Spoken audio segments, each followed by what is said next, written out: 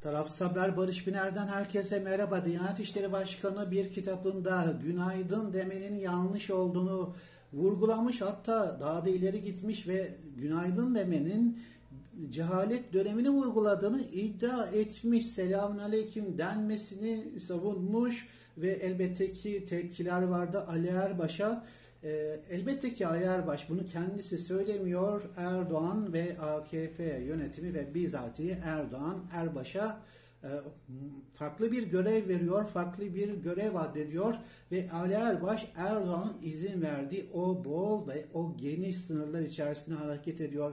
Elbette bu bir taktik aslında toplumu birbirine düşürme taktiği ama şunu da söylemek istiyorum ki Erdoğan'ın danışmanları e, maalesef bu işi bilmiyorlar. Çünkü AKP'nin e, kazanmış olduğu %49'lar ve 40 üzeri rakamlar aslında milli görüşten aldığı oylar değil.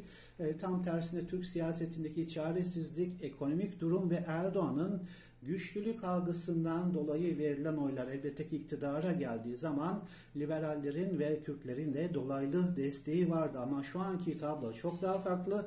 AKP ulusalcılaşıyor ve tabanı da değişiyor. Ee, ve e, eğer AKP içerisindeki kemik kitleyi e, analiz etmek istiyorsanız sadece %20'lik İslamcı bir kemik kitle görebiliriz. E, merkez sağın oylarını alan Erdoğan yönetimi milli görüşe yaklaştıkça hatta milli görüşte aç, e, aşan şeriatçı ve radikal şeriatçı bir dili benimsedikçe e, bu ülkede Refah Partisi'nin aldığı oy oranının yaşı benim gibi orta yaş olanlar %22 sınırını aşamamış olduğunu o Refah Partisi'nin parıltını döneminde dahi %22 geçememiş olduğunu biliyor.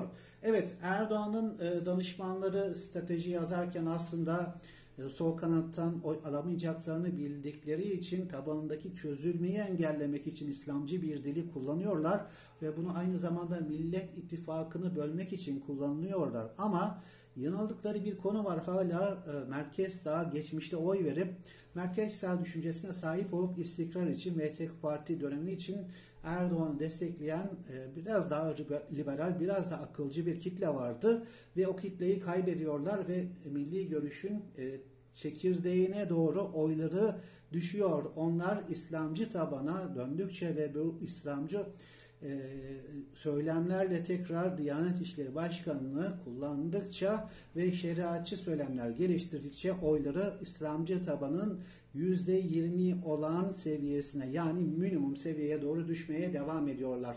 Tabanımızı tutacağız derken aklı serin insanları da kaybediyorlar.